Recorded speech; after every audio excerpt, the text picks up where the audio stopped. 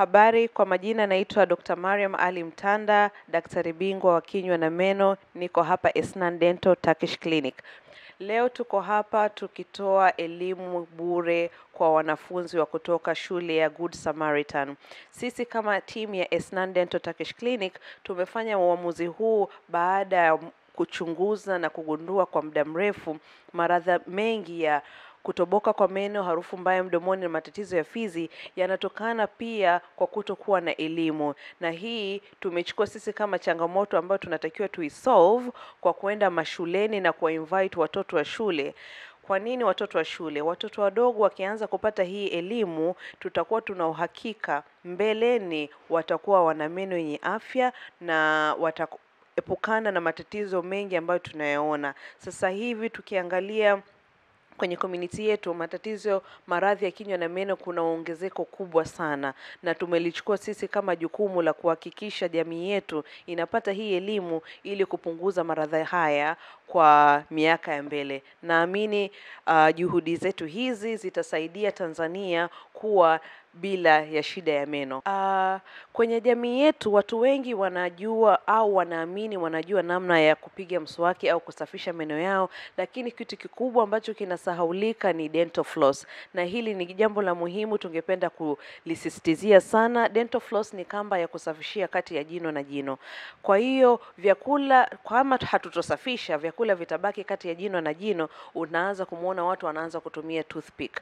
Kama daktari, sishauri kabisa watu kutumia toothpick, maana yake yanaleta madhara zaidi kuliko faida.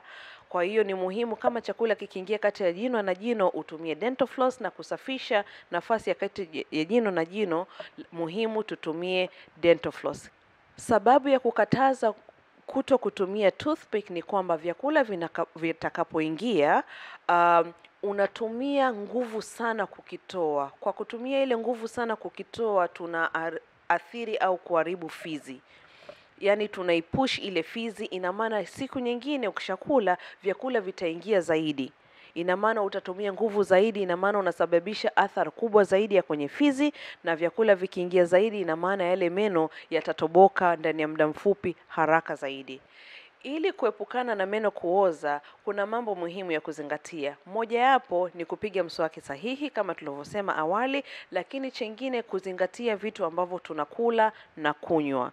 Wengi tunaamini tukila vitu vya sukari ndiyo meno yataoza, na ni kweli, lakini hatuwezi kusema tutaacha vyote. Nini cha kufanya? Baada ya kula kitu chochote cha sukari, ni muhimu ukapiga mswaki na kutumia floss, lakini wakati gani sasa tunaopiga mswaki baada ya kula vitu vya sukari? Ni muhimu kuto kupiga mswaki pale pale, maana unapomaliza kula tu kuna acid au tindikali nyingi sana kwenye meno ambao ukipiga pale pale mswaki badala ya kupata uh, faida utapata athari, kwa sababu ile asid itakwangua zaidi yale meno. Kwa hiyo ni muhimu sana kusubiri angalau nusu saa uh, pH kwenye mwili ilevo, then ndo tunatakiwa tupige mswaki na kufloss. Now baada ya kula vitu vya sukari, kuna vitu ambavyo si wakati wote tutakuwa tuna miswaki yetu na dawa za mswaki tunapokula vitu vya sukari.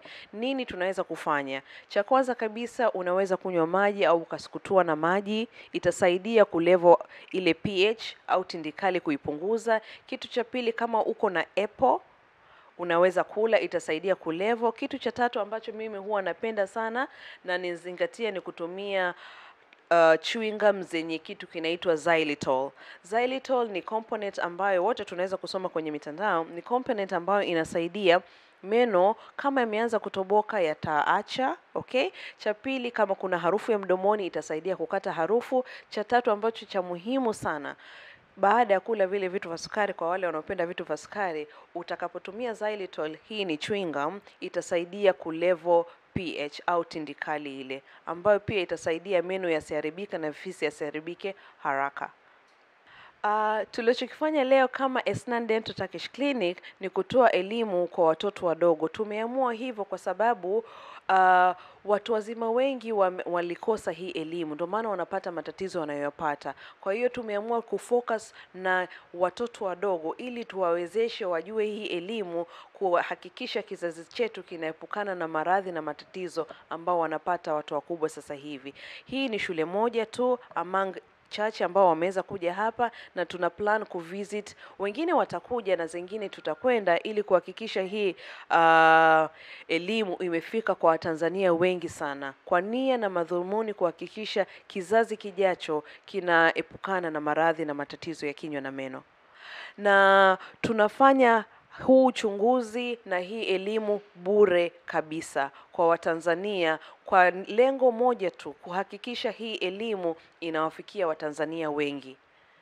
Ah, jina langu ni Maximilian kutoka Good Samaritan English Medium School. Leo tumetembelea Esnan De- Dental Turkish Clinic.